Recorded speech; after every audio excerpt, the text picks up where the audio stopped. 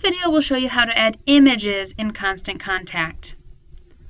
First thing I will need to do is to double click on the spot I have this image block that I've added and it'll give me a couple options. The first option it gives me is image URL. So this is adding an image from the internet based on its web address or URL. This is a great option to use when you want to add something like clip art or a generic graphic. This is a, a good option to use as much as possible because it doesn't take up any of the space that Con Constant Contact has given you to host photos. They do give you limited space for hosting photos, so you'll want to take as many images as you can from the internet. So I found a koala picture on the internet that I want to use. So I'm just going to click on it in Google Images. I'm going to right click and select copy image URL. So I'm copying that web address. Then I'm going to go back to Constant Contact and in the box labeled URL, I'll click and then right click and paste in the website. Then I'll click preview. I see my koala. I'm happy with it. So I'm going to click insert.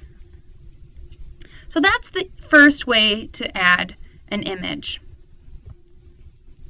The second way to add an image is to click on this tab called My Library. And this is where the photo that you add will be hosted on Constant Contact. So you have to be careful that you're not doing this too often. But this would be an example where you had taken a photo that you now have on your computer and you want to add, um, add that to Constant Contact. So I'm going to start by clicking on Upload File, then browse your computer to upload.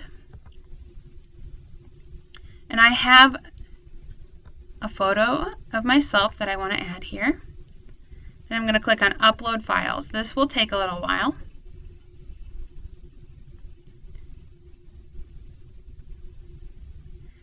Once it's uploaded, you can click Done. Then you click on the photo to select it, and then you can insert it. Now the nice thing here is that if I want to make some changes, for example, I think this is a little big, I can click on the arrow next to this gear and click on change, and I get some editing options.